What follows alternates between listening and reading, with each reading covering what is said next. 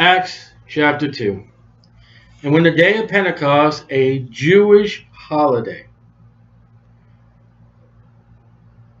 was fully come, then there, uh, they were with one accord in one place, unity among the brethren. This is after Jesus has risen from the risen from the grave, after he's ascended uh, into the right hand of the Father. He has sent the apostles out. They're together. And suddenly there came a sound from heaven, as a rushing of mighty wind. You find that in John chapter 3. Jesus speaks of the Spirit as wind.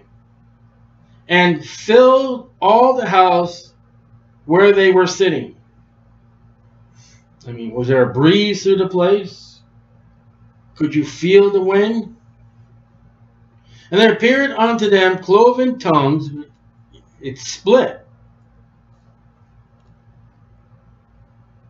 Cloven uh, paws of certain animals. A split hoof. Cloven tongues. The tongues, uh, it's a forked tongue. It's a tongue split in half, like as fire and it sat upon each of them. But tongues we're going to see is a language.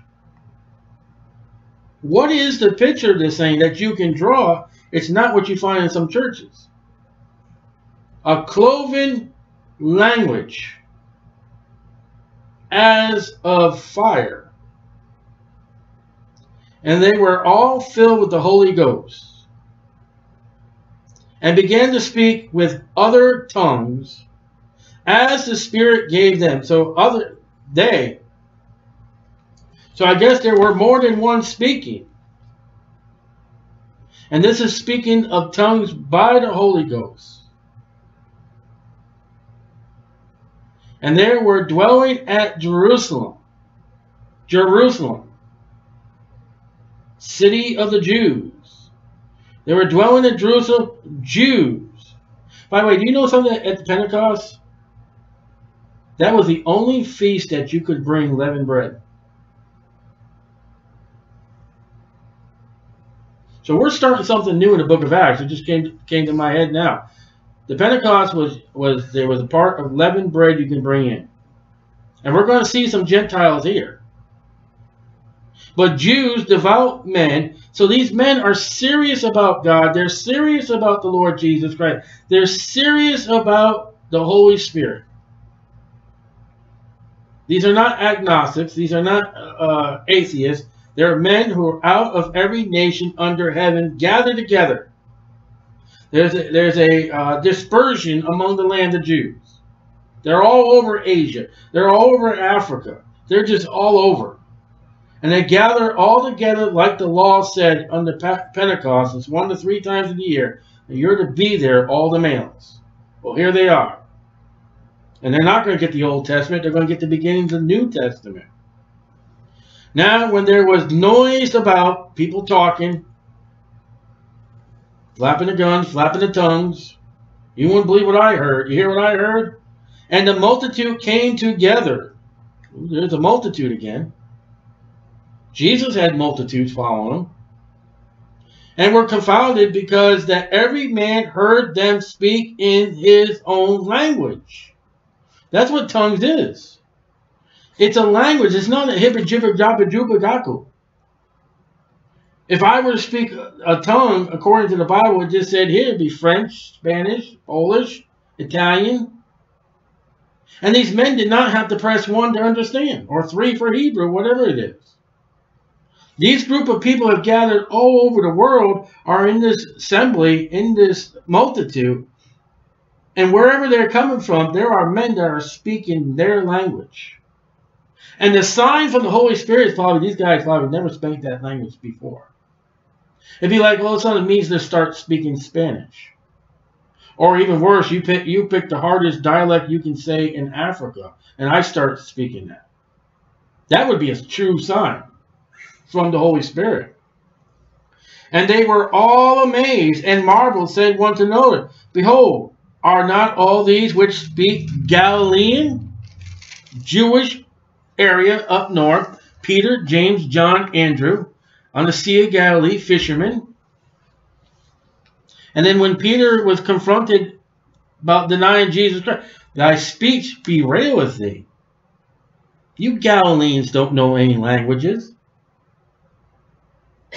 And there's a part in Acts we're going to read a little bit later, I think two or three. They're going to say, well, who do you people think you are? You're, you're from an uneducated area. Galilee had to have been uh, noted for dumb people. The way the book of Acts is written. These guys don't speak a language. Later on, these guys don't know nothing. They're just fishermen. What about Matthew? What about Luke, the medical doctor? What about them? And here we go with a list of people from all over the world, Parthians and Medes. Ooh, Daniel. And Elamites and dwellers of Mesopotamia and in Judea, nor uh, south of Israel, and Cappadocia, well, Pontus, that's where Pontius Pilate was in charge. Asia. Now, Asia here would not be where you think India and all that. That would somehow it's it's Turkey. I don't know why that's considered Asia. Pergama, Pamphylia, Egypt. God told those Jews over and over and over, don't go to Egypt. There are Jews from Egypt here in the land. And parts of Libya, that's another African nation, about Cyrene, and strangers of Rome, there's some Gentiles. Jews, got to get the Jews in there, and proselytes. That Ethiopian eunuch was a proselyte. He was a Gentile who had converted to Judaism, searching out God Jehovah. Cretes and Arabians, Ishmael, Gentile, kind of half Gentile. He's of Abraham. And do hear them speak, and notice how the Arabians come last in the list. We do hear them speak in our tongues, not no unknown tongue. There is no unknown tongue in the Bible. It's these people saying, you know what? We hear our language. The wonderful works of God. What's the wonderful works? Well, Peter's going to say it in 22 and 23 and 24. It's the gospel that Christ died for our sins. He was buried and arose again. They're telling stories of the gospels that have not been written yet. I mean, Peter would probably, hey, there was a time I went fishing for tax money. James and John, yeah, there was a time that we asked Jesus, could we sit in the right hand and the left hand?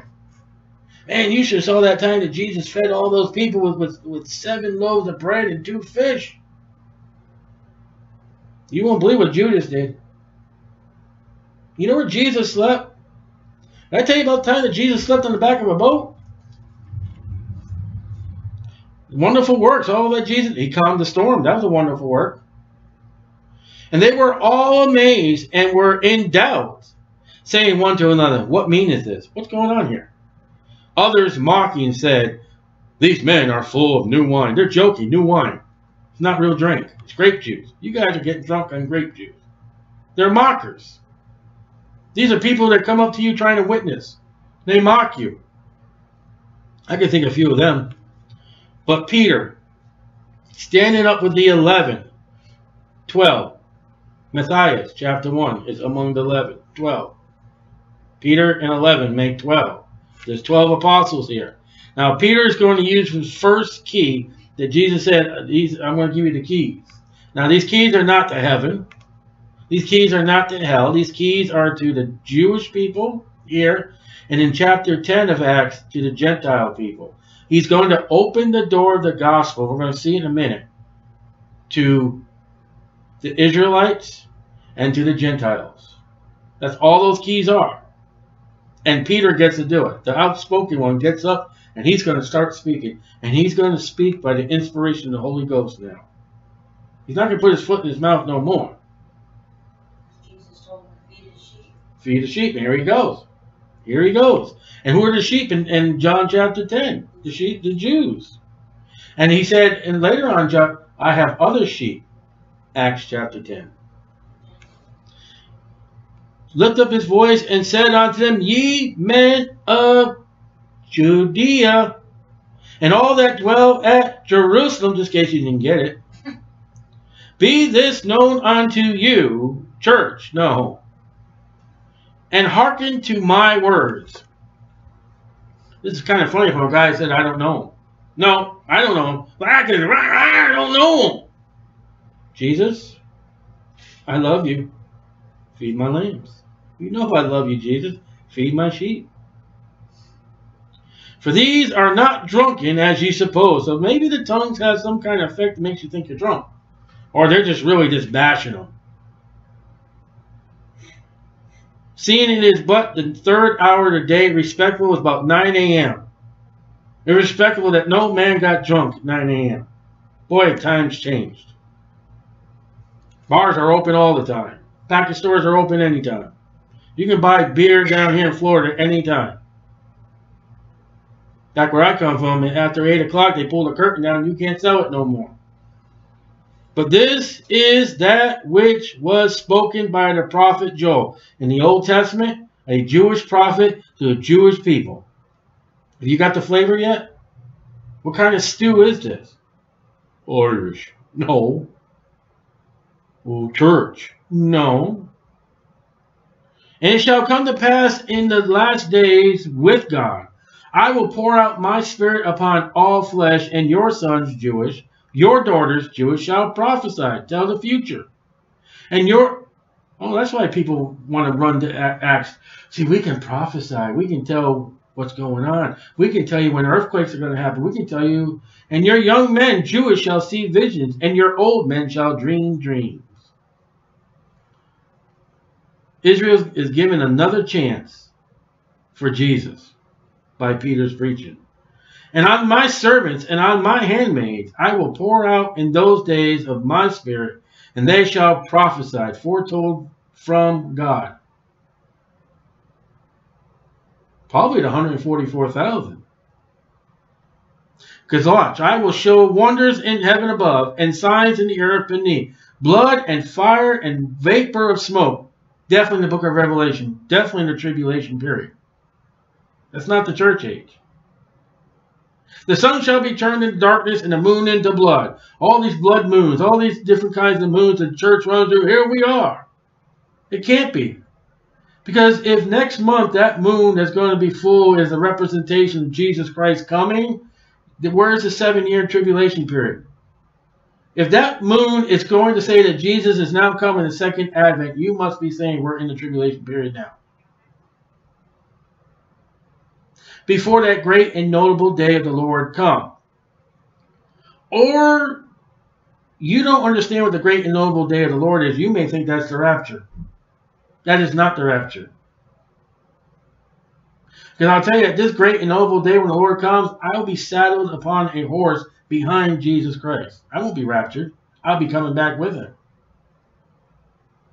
You got your days confused, or you haven't got your Bible understood. Be careful running in Acts chapter 2. It shall come to pass that whosoever shall call on the name of the Lord shall be saved. Ye men of Israel. Is there enough flavor in this stew? This stew is 100% kosher. Acts chapter 2. There's no bacon. There's no leaven, even though we do got some Romans, but it's flavored. Peter is preaching to the Jews. How do I know? Peter, I want you to eat that. Uh, oh, Lord, it's unclean. I have not touched anything unclean in my lips. Never. When Peter was told to go to the Gentiles, he told God, absolutely not. That's how you know this is Jewish. Peter does not give God any attitude here because he's preaching to his people. Ye men of Israel, hear these words. Jesus of Nazareth. There's, there's another. Jewish city. A man approved of God among you by miracles and wonders and signs. Everything Jesus has done. And John said we could even write everything that he has done. Has ever done. Which God did by him in the midst of you in Israel yeah, he went to Samaria a couple times, but he, his, most of his ministry was in Israel. As yourselves also know. You people know what he did. You saw it. You're witnesses too. Him being delivered by the determined counsel and foreknowledge of God. God knew that Jesus was going to go on that cross. God knew all those miracles set by Jesus. God knew what Pilate would do. God knew what Judas would do. God knew what Zacharias would do. God knew what John the Baptist would do. God knew what Peter would do. I mean, he said, Peter, you're going to deny me. No, not me, Lord. Oh, yes, you are. No, not me. I don't know. And ye, men of Israel, Jews, Jerusalem, Nazareth, and ye, and ye have taken and by wicked hands had crucified and slain. Peter's telling those Jews, you killed Jesus. Black and white. That Jewish lamb, the Lamb of God which take away the sin of the world. Who had to kill that lamb? That lamb kill itself? Absolutely not. The Jewish people had to kill that lamb. The Egyptians didn't kill it. And that high priest was set in every Passover since then. He was sent to take care of that lamb. They that lamb. They that lamb. John said that seven days they observed that lamb. And Pilate said, I find no fault in him. That lamb is perfect. So the, the question is, who killed Jesus? Yeah, Jesus is God, but Peter said, by the inspiration of the Holy Spirit, you killed him. You had him crucified and slain. Slain means killed. Go back to the Old Testament. Read where it says slain. That was killed. Whom God has raised up, having loosed the pains of death, because it was not possible that he should be holden of him. Now look what we got here. We got the death, and we got the resurrection of Jesus Christ. In the middle, we know there's the burial. Peter is preaching the gospel in Acts chapter 2. We run to Acts 2.38, repent and be baptized. But before that happens, before that becomes, he preaches to these Jews the death, burial, and resurrection of Jesus Christ. The gospel before the baptism. Oh, that's not mentioned we just go right to be baptized. You can't be baptized unless you get the gospel. These men heard the gospel, and they're going to respond in 38. But they've heard the gospel, 23 and 24. For David, Jewish king approved by God, the first real king of Israel, the Messiah prince in the in the in the millennium. This is no Gentile. Speaketh concerning him I foresaw the Lord always before my face, and he is on my right hand. That's where Jesus is, at the right hand of the Father right now, even as Peter's preaching. Peter believed Jesus is at the right hand of the Father. He believes in the death, burial, and resurrection of Jesus Christ. That I should not be moved. Therefore did my heart rejoice, and my tongue was glad. Moreover, also my flesh shall rest in hope. For with the heart man believes on the righteousness, with the mouth confession. There it is right there. There's no mistake in salvation. It's got to come from the heart and it's got to come out with the mouth. There's no. Acts chapter 2 matches Romans chapter 10. Because thou wilt not leave my soul in hell. We're speaking about Jesus. Jesus went into hell. That's what Peter just said. My Savior died on the cross, and his soul went down into hell and deposited my sins. Neither will thou suffer thy Holy One, Jesus, to see corruption. Martha said, It's four days. He stinketh. Jesus had no time to be corrupted in that body. He did not begin to decompose. He did not begin to have the, the little bugs and all the stuff that happens with a dead body.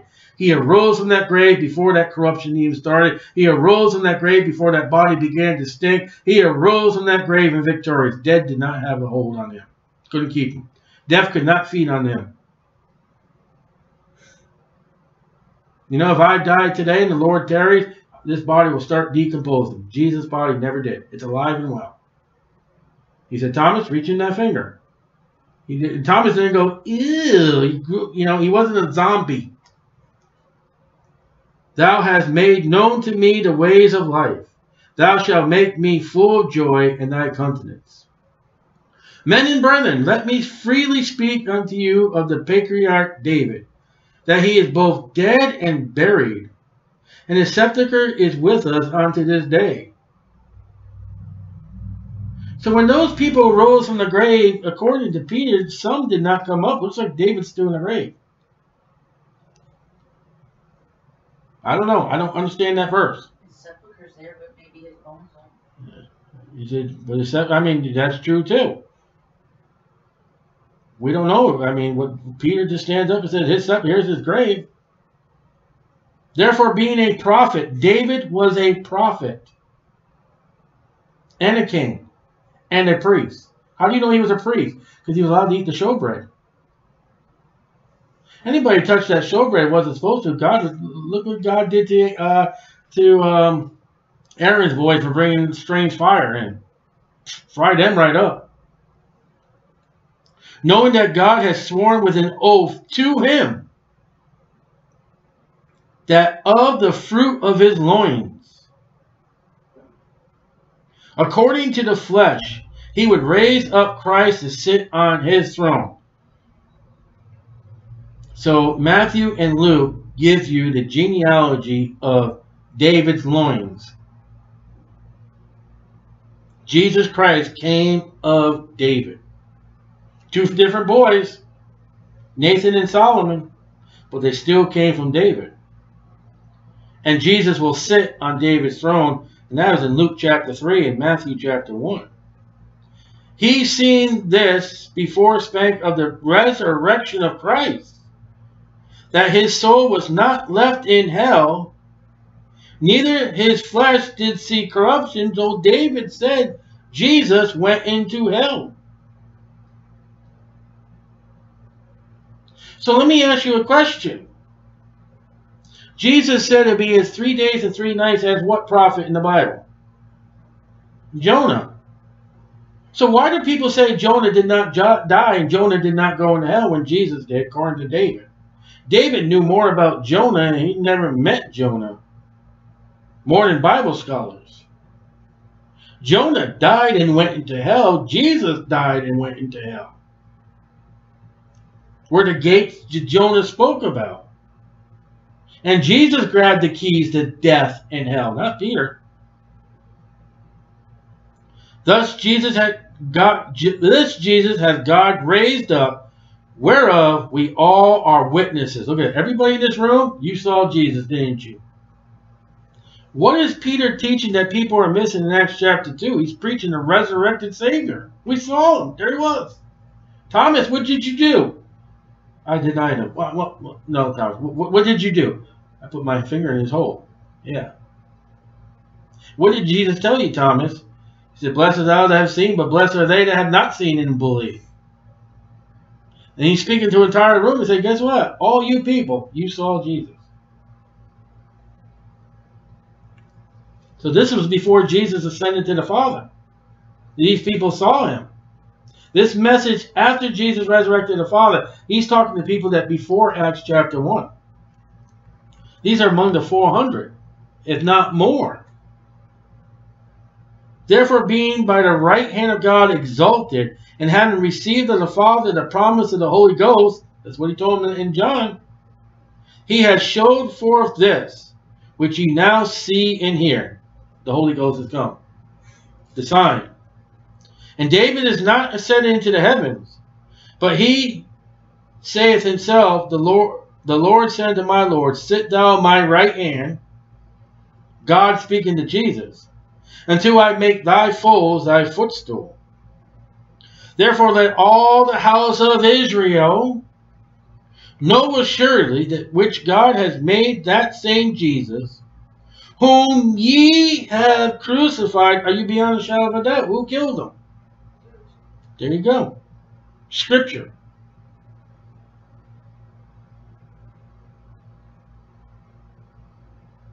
Both Lord and Christ. Read that to a Jehovah Witness. I'm just going to pass on it. That's God. That's the Christ. That's the Messiah. That's Jehovah, Peter just said. Jesus is Messiah and Jesus is God. End of history. End of story.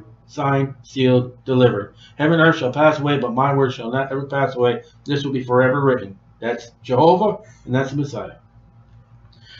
Now, when they heard this, they were pricked in the heart. They were convinced. and said unto Peter and to the rest of the apostles, Men and brethren, what shall we do? Now this is a different story from Acts 16:30 and 31. Because Acts 16:31 later is going to say, Believe on the Lord Jesus Christ and thou shalt be saved. But then Peter said unto them, Who? Who? Who? Who's been who are the them? Who are these people? The Jews. Repent. You gotta get that one. Did you get that? Even in Acts 2.38, you gotta repent. Peter has preached the death and he's preached the resurrection of Jesus Christ. What do you got to do? Repent. And be baptized, every one of you, in the name of Jesus Christ for remission of sins. I don't see no blood here mentioned. Peter hasn't got the blood yet.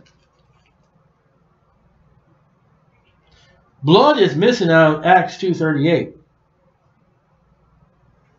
You know what the church is? If you don't have blood, you know what you don't have? You don't have salvation. That's a revelation by Paul. But this is the early church. Jesus is just Jesus just ascended to heaven. The apostles are now on their own, and Peter gets up and says, "You got to, you got to hear the gospel. You got to hear the resurrection. You must repent and be baptized." That's what John was preaching.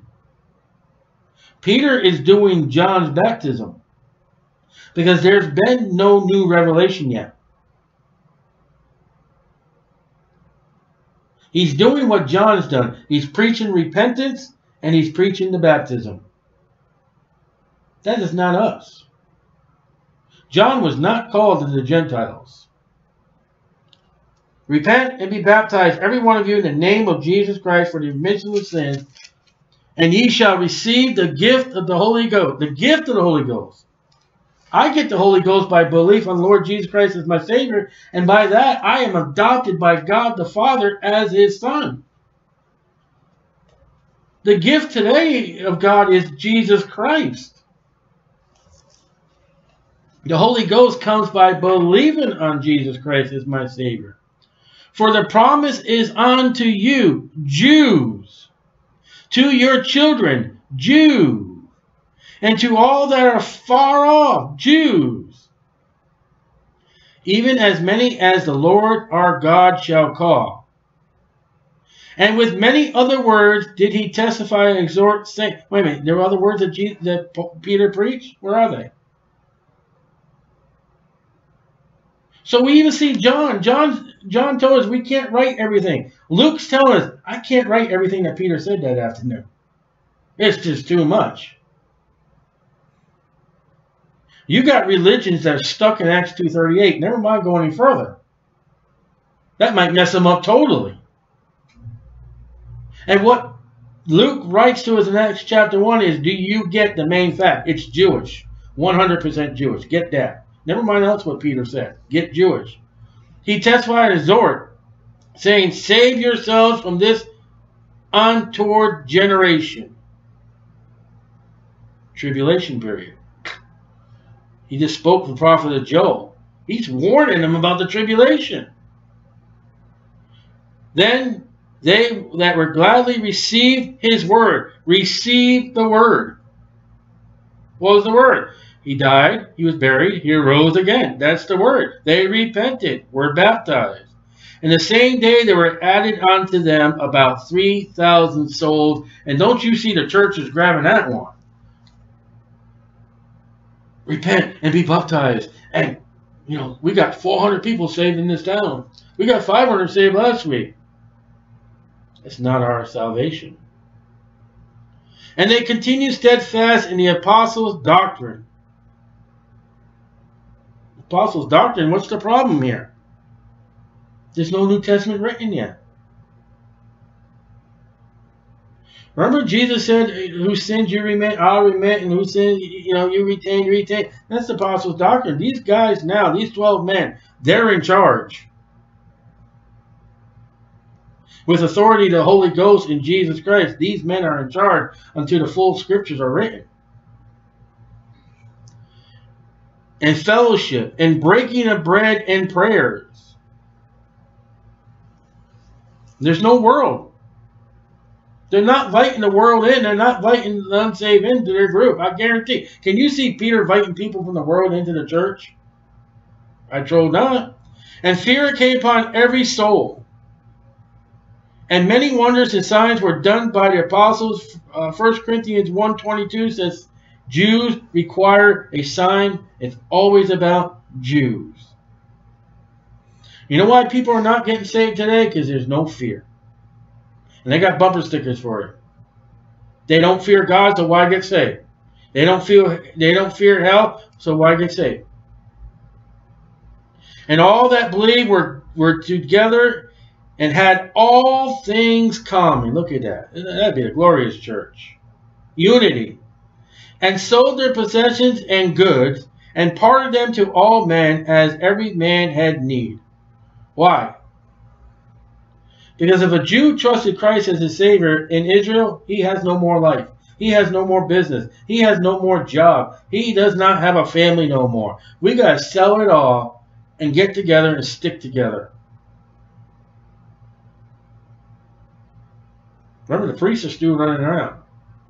They probably got wanted uh, posters right now. You catch a Christian, well, they're not called Christians yet. You catch a follower of Jesus, you let us know.